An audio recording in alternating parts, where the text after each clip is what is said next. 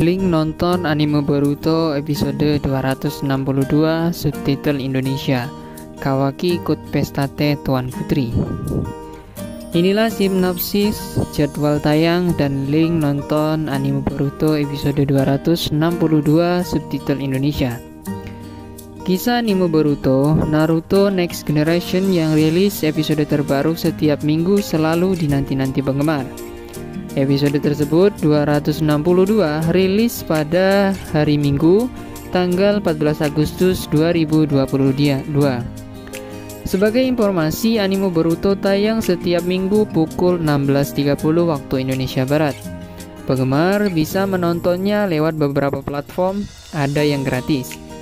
Sebelum lanjut ke videonya, dukung terus channel kami agar channel kami lebih banyak lagi dikenal orang dan dapat menghibur kalian semua dengan cara like, komen, dan subscribe dan aktifkan lonceng notifikasinya. Boleh dibilang, kisah Boruto beberapa minggu ini merupakan episode filter alias tambahan atau pelengkap. Sebab, kisahnya tidak bersumber dari versi manga. Bagi pembaca manga, tentu sudah mengetahui busur utama kisah Boruto. Namun bagi penikmat anime, kisah kelanjutan Boruto dan kawan-kawan masih menjadi misteri.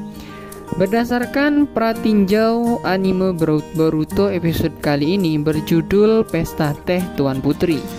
Cerita akan menyambung episode sebelumnya di mana Kawaki masuk Akademi Ninja.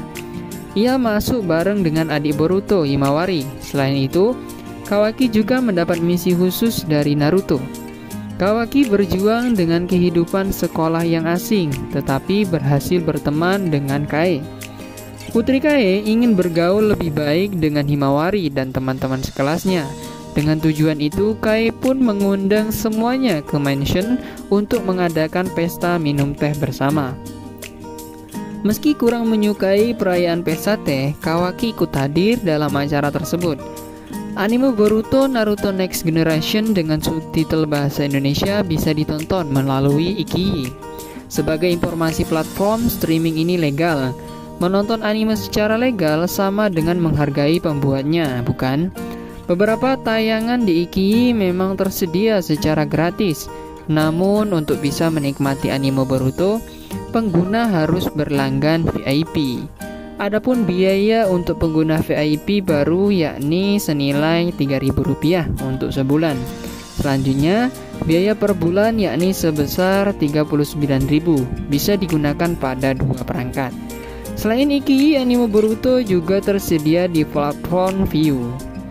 Itulah beberapa ulasan tentang anime Boruto episode 262 yang bisa kalian tonton di kala senggang dan dapat menjadi daftar list tontonan kalian.